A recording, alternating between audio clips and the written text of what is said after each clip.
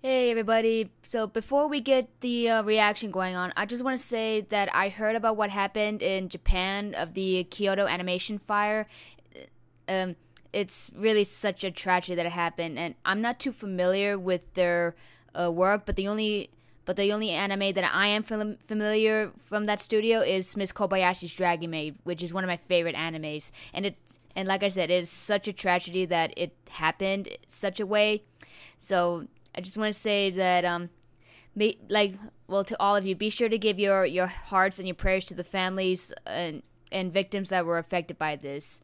Thank you very much for listening, and I hope you enjoy this reaction. What is up, people of the internet? My name is Freelancer Amber, and welcome back to another Death Battle reaction video.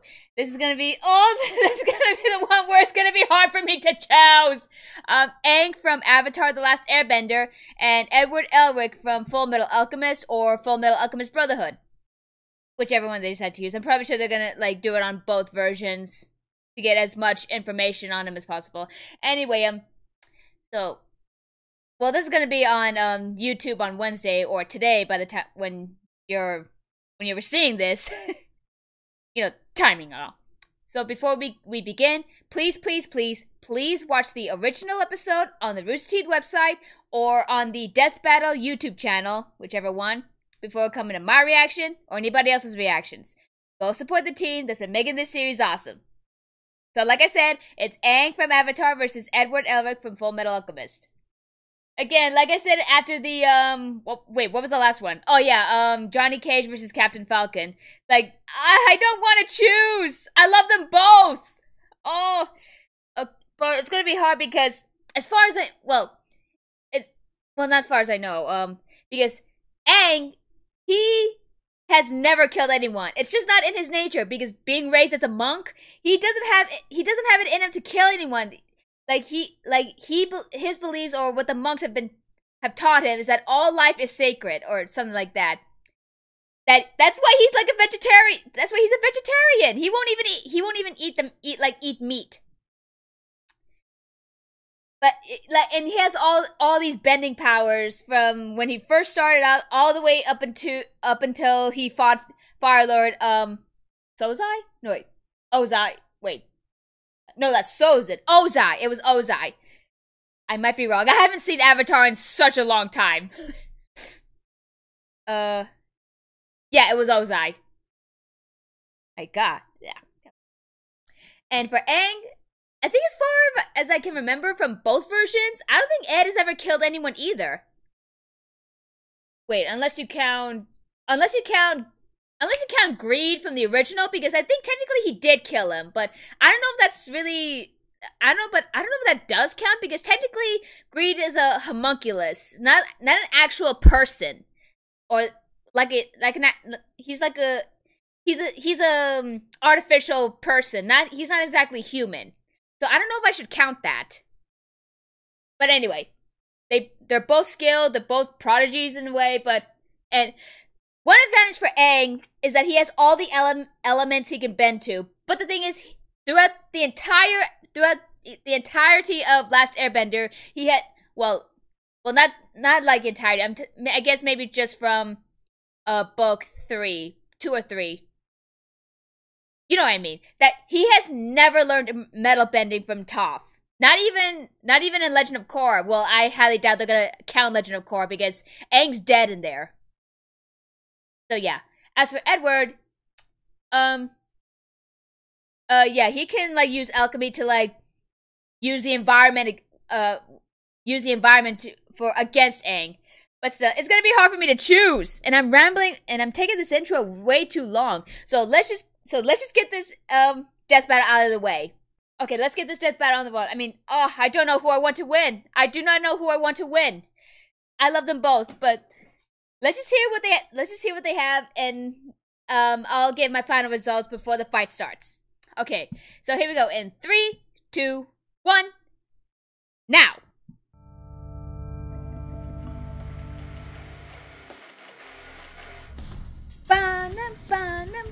The elements make up every aspect of the world we live in, and no average person can tame them. But somehow these kids can master them with a vengeance. Uh, like Aang, the Avatar. And Edward Let's- Elric, the Full Metal Alchemist. Yeah. He's Wiz and I'm Boomstick. Why does it look And laggy? it's our job to analyze their weapons, armor, and skills Whatever. to find out who would win a death battle. Okay, so pixelated. Would have been cool if it was uh, CG. Water, earth, fire, air. Heart. Once the four nations lived in harmony, and some of their citizens could even learn to bend their nation's element. But only the Avatar could master all four, and it's Because- their duty to because if we protect saw the Legend of Korra, we know why. Nations. And since there's And how? always got to be an avatar around, a new one is born whenever the last one dies. But everything changed when the Fire Nation attacked. Yep. Attempting to Why conquer the other three nations, the Avatar would Whatever. inevitably be their greatest obstacle. Man, they'd even go after a kid? Living among the air nomads, Aang was an energetic. There's no known, uh, 12. Years old when he learned of his destiny. He was the newest Day of Dead? Incarnation of the Avatar. But he totally Whatever. wussed out, ran away from home, and got frozen in ice for a hundred years. What the hell? That's not what I'd do if I found out I was an awesome elemental badass. I'd definitely find a way to make money off that. Boomstick, he's 12. Oh, I love that! But running away actually saved his life. Yeah. As the Fire Nation knew the next Avatar Aw, would be an air Gyatso! and slaughtered them all in a horrific surprise attack. But the poor kid wouldn't be stuck in ice forever. He was eventually rescued by some new friends and began his quest to learn the other elements and save the world. And as an air nomad, he can really bend the wind to his will. God damn it, Moonsick. He can use air bending to create whirlwinds and tornadoes or slice through solid stone. Yeah, I never even And read the comics, fly. like the books. Whee! Well, it's not exactly flying Boomstick. What he actually does is manipulate the air currents to keep aloft. That's why he carries a glider, complete with snacks. Oh, well, I'm sure that'll come in handy. Whatever. if it looks like a duck and sounds like a duck, it's a duck. Eh, Or I whatever. guess flying avatar guy. But ducks actually can fly. Anyway, Aang can use air in pretty much every aspect of his Bog- life. Like for Bagua style, increasing okay. his speed, improving agility, adjusting his body temperature, and even focusing Okay. his breath to use as an attack. Yeah. After he learned waterbending from Pakku and Katara, Aang can make whips, knives, and literal tsunamis. Hey, I can do that too. Just give me a pool and watch this cannonball fly. Does that mean I'm a waterbender? No. Sure. What? Waterbenders What? can also manipulate steam and ice. Yeah. Just like how I, the great waterbender Boomstick the Wet, will use my powers to swim through this frozen block. You what? What? Uh, waterbending 101. you can be jealous. Oh wow, I'm just bursting with envy. Powers activate! Ah! Ha! Success! like airbending, waterbending requires a nearby source of water to use, like a pond or a filled bottle. The same goes for earthbending, which Aang learned from his mentor Toph. Earthbending is all about throwing rocks at people and a bunch of other cool stuff, like making Then- walls and yeah, earthquakes blood and bending or lightning ground to generation. swallow you up, which is kind of creepy, actually. Yep. Last but certainly not least, Aang learned the art of firebending from his longtime rival, Prince Zuko. Rival. Unlike the other arts, firebenders can actually create fire to use at will. Firebending is so goddamn powerful. It's even got the deadliest bending technique of all shooting lightning. Well, only the most advanced firebenders can cast lightning, which is usually an instant kill move. Yeah. While Aang never learned the move itself, he has learned how to redirect it through his body. Yeah, that. But even after learning the four elements, Aang got to meet one last master bender. Who taught him the art of manipulating a person's life energy, Hmm. the purest form of bending. that- It's You think that might be an advantage dangerous, over though. Ed? One mistake could tear up Aang's soul. And with it, Aang defeated the Fire Lord and brought peace to the world at large. Well, with that and with his super form, the Avatar State. In the Avatar state, Aang's bending abilities grow immensely powerful. Yeah, but that's where he's This is also because vulnerable. The Avatar state lets Aang draw upon the power and wisdom of all previous Avatar incarnations. Though it is extremely risky, as dying while in the Avatar state Yeah. ends the cycle of reincarnation permanently. Ew. Why would he care if he's dead anyway? Whatever. The coolest thing about the the Avatar Avatar state state is is it it- makes you glow. You're like stressed. this. Okay. Behold! How are you doing that? What? oh, I, I drank a bunch of glow sticks. You need to go to the doctor. Oh. Like right now. My liver's processed way worse than this. What? well, with or without the Avatar state, Aang is plenty powerful. He has the ability to move gigantic Ozai. stone I knew it was columns and Ozai. even carve canyons around an entire city. Not only has he survived hits from earthbending kings and massive explosions, he threw this gigantic column of rock at the Fire Lord. To get the column's mass, we compared Aang's height against it and determined Hmm. it must weigh 9,500 tons. Jesus. Aang's super fast too. With airbending, he can run on water. Which, given his size, requires a movement speed of well over 67 miles per hour. Whoa. He used airbending to block a giant column destroying explosive attack from the best named character on the show. Best name character. Combustion Man! And Before it was proven he Spark- could Sparky redirect Sparky Boom Man. the Fire Lord himself. Taking into account the distance between them and how far Aang's arm had to move to catch the lightning, he would have to react at least 155 times faster than sound. Wow. He is pretty unused to violence, though. I mean, he's a vegetarian pacifist for crying out loud. Yeah. But while he may seem like just a kid, Aang still saved the world and led it into a peaceful future. He did. To him, bending is elementary. If you want to be a bender, you have to let go of fear. I mean, I love Ed, but I'm. I love it, but I kind of saw Avatar first, so. Alchemists of old once tried to turn lead into gold. No, no, no, no. I got the timing wrong. Great results. The first But me- the first of Metal Alchemist was the in ancient 2004. science of alchemy is actually possible by using the Earth's Um, natural energy to reshape the Avatar didn't come structure till, like, a year later. objects. And by drawing a circle thingy. A transmutation circle, which most alchemists use, except for the But youthful hold on. prodigy Edward Elric. Oh, what a little badass. He's Careful, 18. Boomstick. He's a bit touchy about his So he's size. 18 by the Hey, end if of I lost my um. mom like he did, I'd get mad like, close to the ending of Brotherhood? too. But Ed Full and his brother Alphonse figured they Agno- could bring agnostic, dislikes alchemy. fucking bread crusts. So they went for it, but things went south real fast. You know how people say they'd give an arm and a leg for something? Yeah. Ed literally did, and poor Al lost his whole body. Luckily, Ed managed to stick his brother's soul in a suit of armor. But still, yikes. This horrible experience has forever marked the two brothers. No one is meant to transmute the human soul, and the boys were lucky just to escape with 2003. their lives. But he got something good out of it, like super secret knowledge, including how to do alchemy without a circle thingy. He just has to clap instead. So, worth it? With these new abilities, Ed and Alphonse began their quest to restore their bodies. Specifically, they sought the incredible power of a Philosopher's Stone, believing it to be their only chance. Eventually, Ed joined the military, and thanks to his amazing potential, he was named by the Fuhrer the Full Metal Alchemist. Wait. What? Adolf Hitler? Uh, it's just Bradley. He's okay. Until he isn't. Yeah. Spoilers! Also, since Ed lost a couple limbs, he got them replaced with automail. Kinda like my leg. Automail is made from incredibly durable medical metal, alchemy. ranging from his original Jujits- steel one jujutsu? to a gas-powered one to his best version consisting of a mix of aluminum and carbon. Apart from being durable metal prosthetics, Ed's automail limbs. Why couldn't just like prosthetics be that ones. simple? He can even reshape his arm as a weapon. So he can turn it into swords and saws and stuff, increase its durability by hardening its makeup, or turn it into an umbrella. Ah, truly a limb of many talents. But at the end of the day, Ed's true talent lies not in sword fighting or umbrella holding, but the art of alchemy. Yep. He can do all sorts of crazy things with all the elements. He can basically make anything he wants, like spears and shields. So long as he follows the rule of equivalent exchange. Yep. Anything created with alchemy must have a source of equal value and cannot be made fundamentally different. For example, lead can be molded into a statue, but it cannot be turned into water.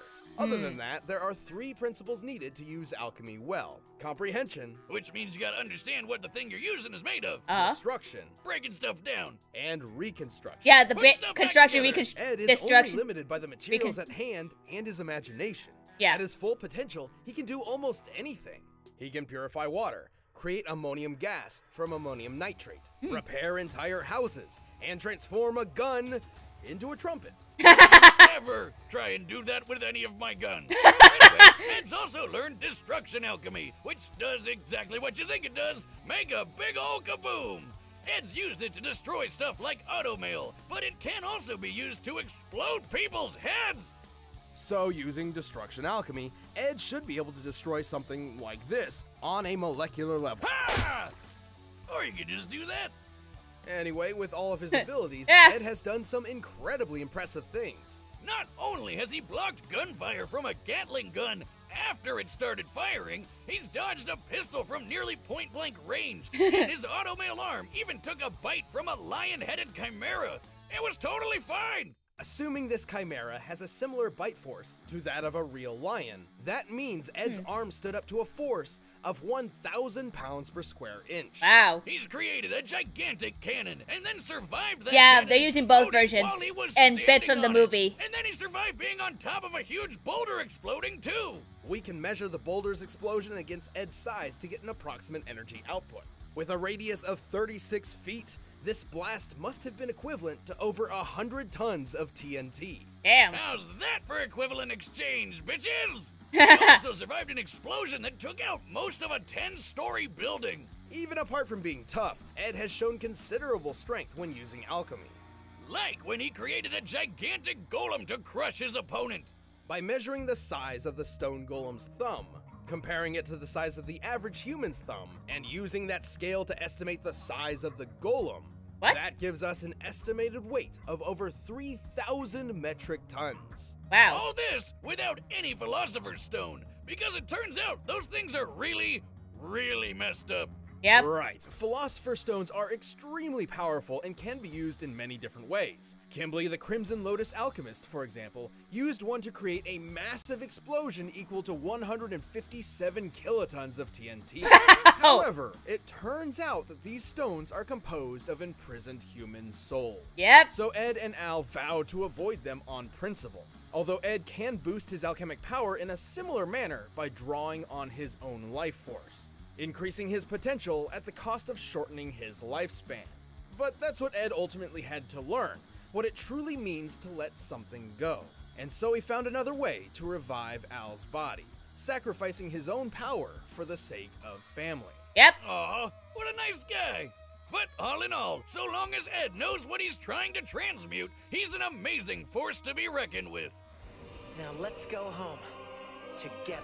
Aw.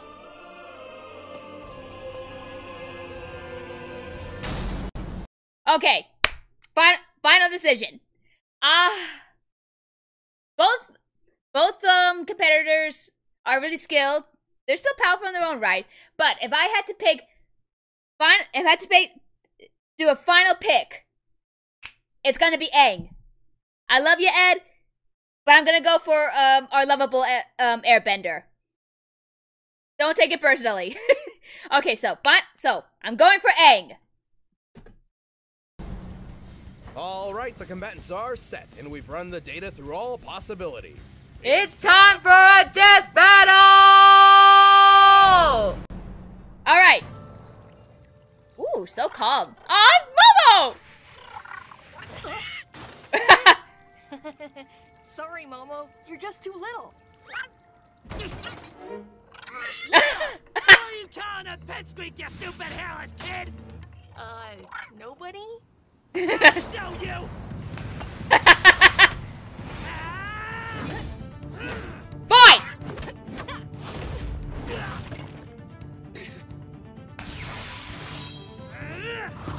Wait, why is it, why is it on the left arm?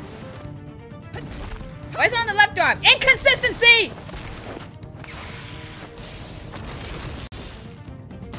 But whatever.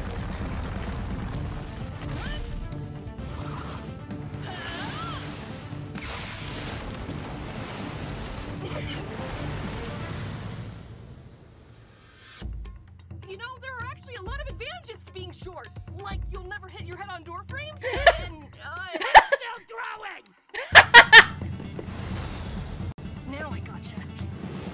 Oh yeah, I know that trick. There it is. Ah! Oh no! I'm sorry!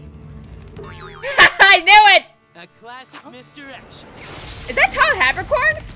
Sounds like it. That's advantage Elric! Ha! No, I'm probably hearing things. No, I was probably hearing things. Oh shit! How's this for small?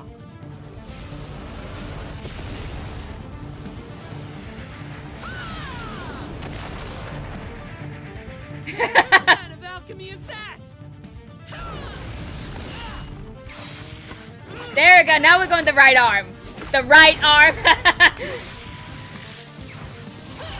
Okay, no more clappy magic. Clappy magic.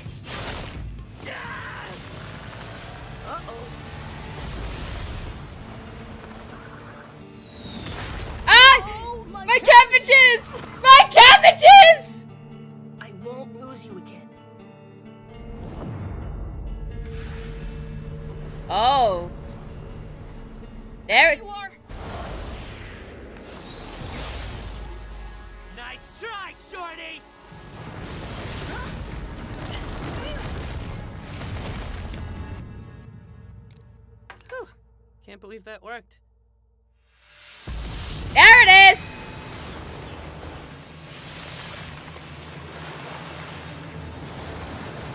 This ends now.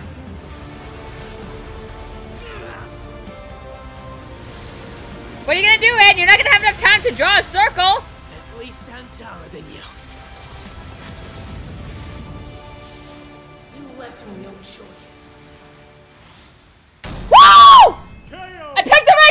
Like Ed didn't have a leg to stand on. Or arm, I guess. Ed may have been more quick-witted I believe and Aang would have inventive, gained far and more he certainly combat had more experience than Ed combat once he entered the Avatar state. But Aang's bending Hence abilities were far more versatile Across and 10,000 years, okay. than combat alchemy. Yeah, it had cool stuff like cannons and gun trumpets, but Depending Aang was fast interpretation, enough to Ed react to lightning, which is way faster than dodging a measly bullet. All right. Recall how Ed survived an explosion that destroyed most of a 10-story building. By examining the size of the building and thus the volume of the conical explosion, this blast must have equaled about 30 kilotons of TNT. But That's cool, but Aang did way more when he carved up a circle around that city in Avatar State. Oh. The oh, force to blast such a huge ravine around the city of Yu Dao was a massive undertaking.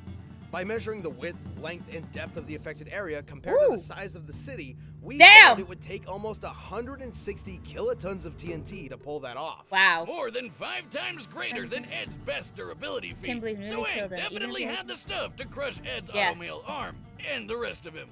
Granted, Ed could reach this sort of power by sacrificing his life force. Remember Kimblee's explosion, the one empowered by a Philosopher's Stone, a blast worth 157 kilotons of TNT? That's almost identical to Aang's feat, and Oh. theoretically, Ed could have been capable of this level of power. Theoretically. However, a Philosopher's Stone uses many souls, while Ed could only draw from his one. Hmm. Not to mention, drawing from his own life force meant his power up had a very short and dangerous duration limit compared Oh. to ah. the Avatar state, Okay. which has no such limit. But even so, Ed's tactics and creativity kept him in the fight. Yet the Avatar's speed, power, and versatility was too much for Yep. him. Aang may be a pacifist in canon and would hardly kill anyone, but unleashing his full power is a sight to behold. That's true. Just when Ed thought he had the hang of it, he kind of missed the mark. God damn it, The winner is Avatar Aang. Woo! Okay, come Thanks for on. watching this episode Come on, show me something that's gonna make me battle uh, fall off my chair. Come on. link down below. And if you'd like to see some more Come battle on. and death, make sure to click the link over there. Anything good? That's right. Oh! Yo! Yo! Not exactly um a kind of thing that would make me fall off my chair, but still pretty good. Um, wait, ah, shit. Ghost Rider and what was the other one? I I don't remember a lot of DC characters. Oh, Lobo. Okay. Okay, so um, how would you describe them? Uh, de- um, moto demon ride, demon riding cyclist? No, um, uh, well, either way. Well, either way. Yo, that's still pretty good. Even it's not exact, like I said, not exactly me me falling off my chair worthy. Though I really want that to happen. Like, get me a get me one or two characters that'll make me fall off my chair. I want that to happen. I want that to happen. But still, Ghost Rider versus Lobo was has no Ghost Rider's never been in this. Oh my god, Ghost Rider! I want this dude to win. I mean, I I mean, as I've been saying for the past uh two three years since I've been reacting to Death Battle, I don't know or I'm not really into DC characters these days. I know I, I only enjoy Marvel more. So I don't know much about Lobo. So if you want to like educate me on who Lobo is, let me know in the comments below. As for Ghost Rider, I love, I, I love the guy. I mean, um, there's just so many interpretations of him. I mean, I'm, I'm sure there, I'm sure his origin story is basically the same thing. I mean, I've only seen like the two Nick Cage Ghost Rider movies, and maybe a bit when he was like, maybe the animation of Ghost Rider was. I mean, was wasn't he? I think he was in a Hulk episode, wasn't he? Like in a like in a whole old um Hulk animated series episode, wasn't he? I do not remember. I do not remember. Well, either way, anyway, that's a pretty good matchup. I knew our I I knew our lovable Airbender would win this. Like again, I love you, Ed, but I think Aang has has more has um a better advantage over you. So we're gonna end this right here. So pretty good death battle. So until the next time, thank you guys so much for watching. Let me know your thoughts of this death battle in the comment section down below. If you liked the video and you enjoyed it, go ahead and click the subscribe button. Also to hit the bell button to be notified of latest reactions, and follow me on Twitter and Instagram at Freelancer Amber for pretty much the same thing, or just shit in general. So remember to stay awesome, be nice animals, don't be dicks, keep moving forward, and I will see you all